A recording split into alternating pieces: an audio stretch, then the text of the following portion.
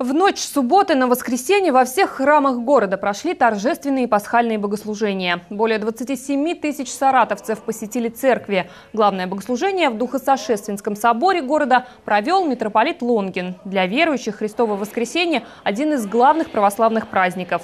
У меня была бабушка верующая, и молитвы с детства знали, и всегда перед Пасхой очень долго молились, и родственники все наши всегда убирались за неделю до Пасхи, потом пекли куличи. Я знаю, что освещают немножко раньше, но я не успела немного прийти, поэтому я подумала, что если они побудут со мной в церкви, то они осветятся.